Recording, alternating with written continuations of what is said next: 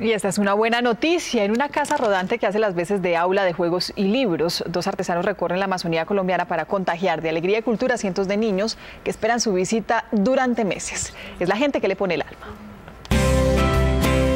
Bancolombia y Caracol. Gente que le pone el alma.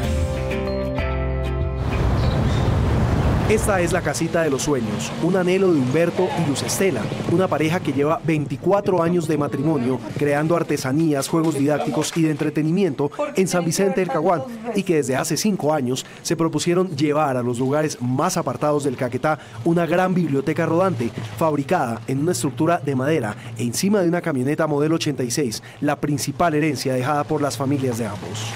La casita de los sueños es un aula itinerante que va con una carrocería muy llamativa. Es una casita y va equipada con televisor, va con sonido, lleva juegos, lleva libros a las comunidades apartadas de nuestra región todavía no alcanzo a entender la importancia que tiene este proyecto en las comunidades, el impacto que ha creado en la región. Ni el clima, ni las trochas, ni las montañas o los ríos han logrado detener a la casita de los sueños, que ha llegado a sitios inhóspitos de comunidades campesinas e indígenas que jamás habían visto un libro, mucho menos un juego, para que los niños se entretuvieran con algo más que los árboles y los animales que abundan en esta región. Nadie daba un peso por nosotros por allá. No creían que la casita de los sueños llegara. Pero no sé, ella atraviesa pantanos, ríos, lagunas y llega. Y con el apoyo de Dios, que ese ha sido nuestro gran aliado también, bendito sea el Señor, que llegamos a sitios donde Él quiere que estemos.